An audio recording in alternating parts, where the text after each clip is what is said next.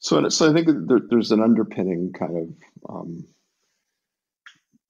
idea or phenomenon here, right? So I'm, I'm quite interested in um, certain forms of um, psychotherapy these days, believe it or not.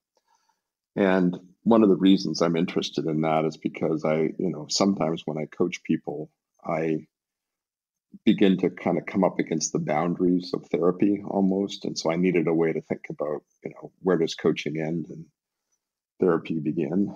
Um, and in fact, this led to some interesting relationships. And I, have done a few cases now where I've done sort of joint engagements with a therapist, with a leader, with pretty interesting results.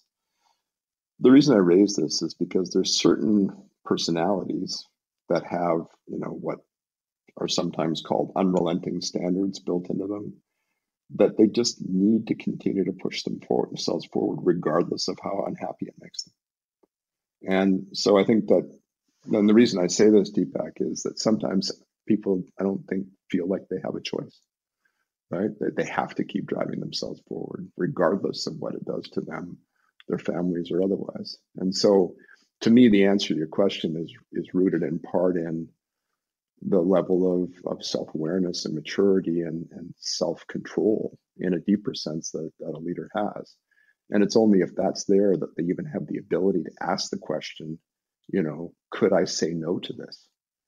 Um, never mind actually act upon it